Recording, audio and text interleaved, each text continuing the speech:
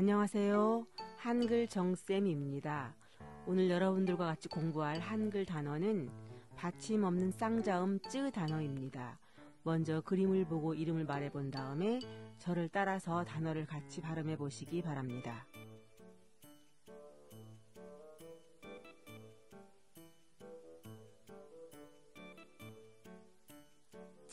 찌푸리다 찌푸리다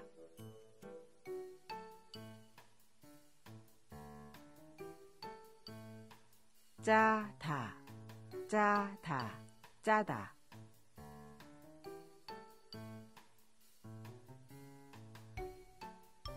쪼그리다. 쪼그리다.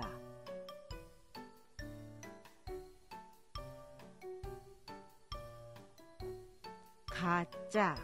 가짜. 가짜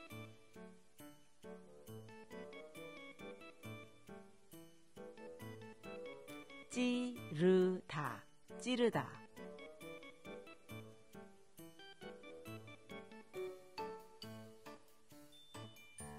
찌꺼기 찌꺼기.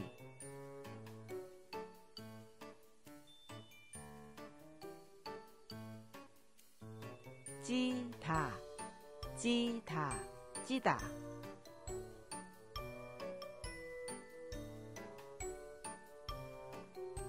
쪼다 쪼다 쪼다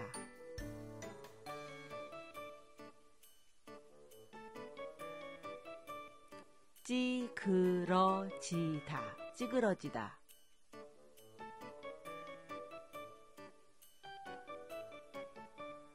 찌, 찌, 찌. 이번에는 한글을 먼저 읽으신 다음에 저를 따라서 그림을 보면서 발음해 보시기 바랍니다.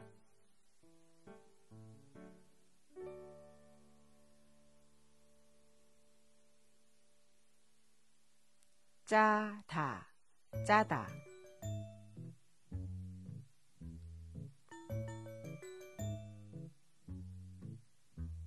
가짜, 가짜.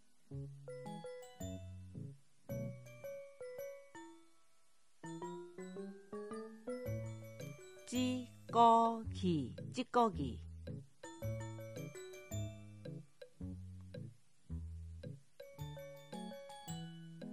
쪼그리다, 쪼그리다.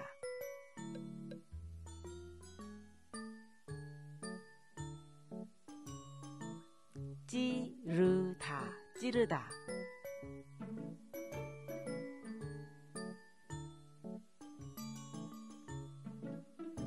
쪼다, 쪼다.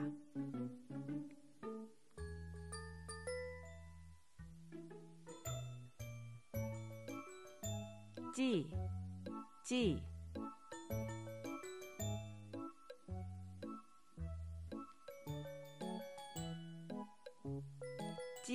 찌그러지다, 찌그러지다.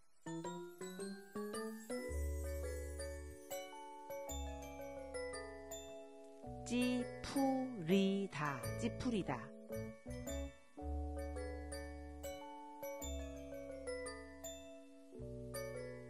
찌다, 찌다.